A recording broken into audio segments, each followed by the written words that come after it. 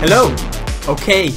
Babylon, directed by Damien Chazelle, I think that's how you pronounce his surname. He also directed the movies La La Land and First Man.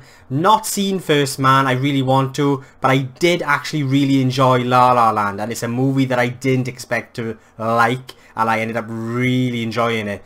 So we've got Babylon. Its plot chronicles the rise and fall of multiple characters during Hollywood's transition from silent to sound films in the late 1920s. So Babylon's been out in America, I believe, since the 15th of December, and obviously so a lot of the reviews have come out, they've been online. Some people really like it, um, some people really don't like it. This film looks beautiful. Um, the cinematography is one of my favourite aspects of this movie. I adored the cinematography and the lighting. Um, it really sort of elevates this edginess and seediness that they are going for with with the movie, with the story that it's trying to tell, and to really sort of recapture that era of Hollywood. They did such a great job at bringing that to life with the cinematography and the lighting. You know, there are moments in this movie, this one moment in the third act, and all I'm going to say is, they're in this sort of underground dingy club at the arsehole of LA and do you know what? You feel dirty just being in this moment, experiencing this scene on the screen. I felt uncomfortable. I felt dirty. And that all of that is achieved through the set design, the lighting, the, the, the, cinematography. So yeah, they did a really good job at really just immersing you into this world. Performances, um, the performances all around are fantastic, very real. Um, they pull off the humour. The humour in this movie as well, I really like. It's a kind of dark humour. It's also very silly humour as well. But for me, it worked. There is this one scene. Some might find it repetitive or just a little bit too silly and goes on. But I fucking loved it. And it's this one moment where they first using sound, basically, in film. And dude, you know, it's, it's, it's like anything when you, when you got a new technology, it's very temperamental. But this scene goes on for about five, maybe ten minutes, and it is so damn funny because something always goes wrong. Someone might walk through the door as they got to start again, and just the way this scene played out, I was laughing all the way through it. I absolutely loved this moment. But going back to the performances, Margot Robbie is fantastic in this. She's one of the standouts for me. A very real performance, a tragic performance, and you believe in her, you believe in her story, and she's just on the screen. She is so mesmerizing when she is on the screen. The, the, the first act is mainly built up of this sort of mad, chaotic um, sort of club scene, and she just does this dance, and the camera just follows her through this dance and just the way they use the camera and just the way she performs this dance and she's lifted up into the into the air and she is so mesmerizing to watch in the movie and I just love how they did that. Yeah she was absolutely great. Same for Brad Pitt. Brad Pitt is really really good in this film. Again you know a tragic character and you buy into him and his journey and just so real. All all the performances in this movie felt real. And another standout for me is Diego Calva, uh, who plays Manny. And you, you're introduced to him straight off as the film starts. And again, a very real performance. Um, and a performance that you can really sort of just relate to and connect to. Uh, yeah, really, really good performance from Diego Calva. I think that's how you pronounce his surname. And Tobey Maguire in this movie. Um, he's not in it an awful lot, but he plays this really sleazy, creepy guy.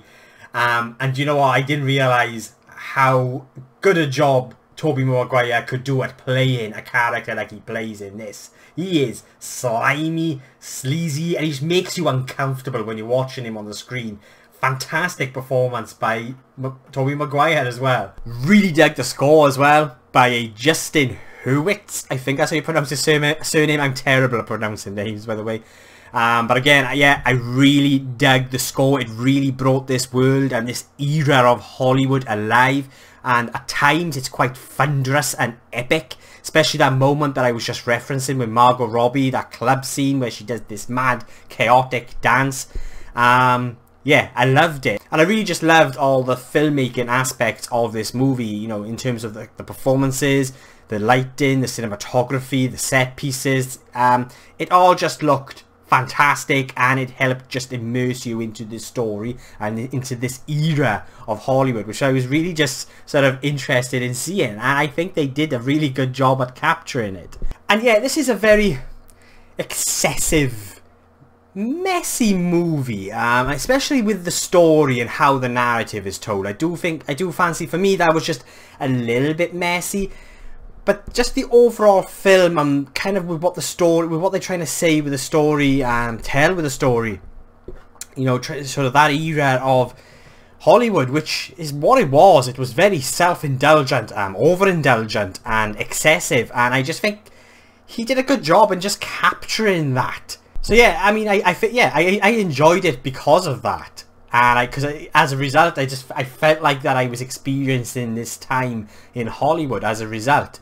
And what I really enjoy about these movies sometimes is when you just find yourself kind of connecting and resonating with a certain character and their story. So it's like I just found that happening quite a lot in this movie. And due to the performances being so real I was just you know, I got really immersed into this story and yeah, I just really just dug the overall experience. Um, it was sad, it was tragic, but it was also funny, mad, bonkers, and it was just a good time. And I, I really, really enjoyed it. And is the film too long? For me personally, a lot of people have said that it is, but I just think the runtime was right. It, it's a long film, but I felt like the runtime just worked for what we were seeing. Um, perhaps you could, yeah, you may have uh, sort of made it shorter, but for me it just worked. So yeah, a really enjoyable experience for me. Um, I do recommend it. Uh, it's not a perfect movie by any means, but it is a very entertaining, immersive experience. The humor doesn't always work, and yeah, maybe the screenplay screenplay is a little bit weak um, and you know sort of how the narrative plays out is just a little bit messy. But overall this is a very immersive experience with what I felt was a lot of love behind the camera. And just you could just the performances were fantastic. Yeah I mean Babylon is an experience. I really liked it. And I will be giving Babylon an 8 out of 10